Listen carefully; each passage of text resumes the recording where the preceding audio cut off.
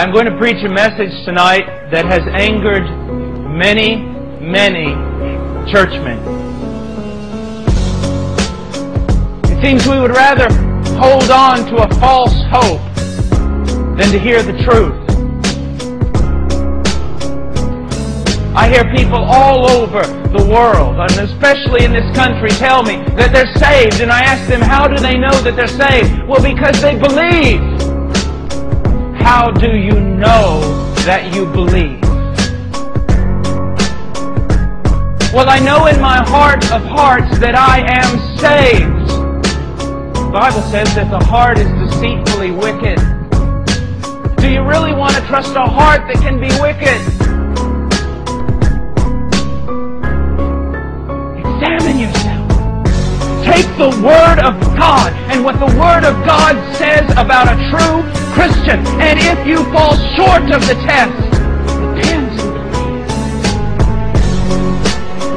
One of the greatest evidences a person is truly a child of God is that they will be sensitive to the sin in their life.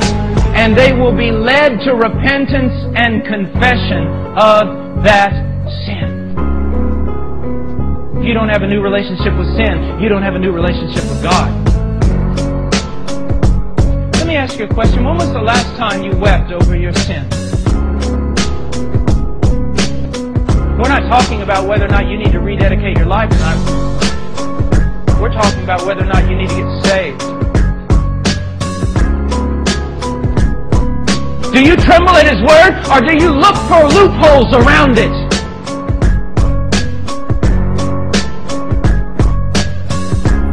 Here stands God on the day of creation.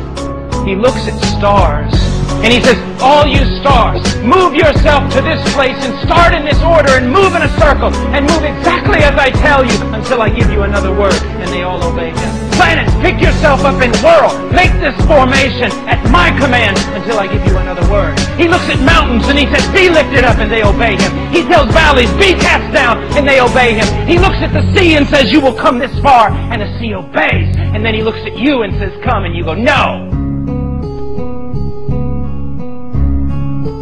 Anybody have a problem with that?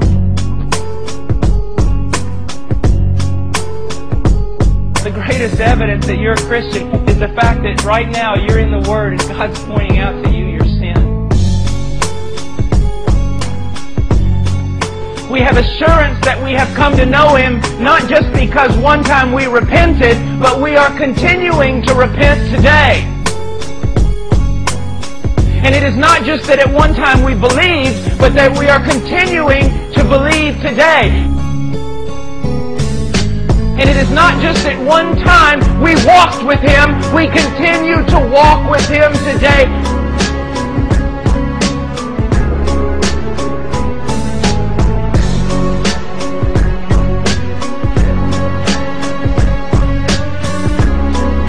One of the signs of a Christian is that they are not entrapped or enslaved to the things of this present evil age, but they are set free to see Christ in His glory and follow Him and follow hard after Him.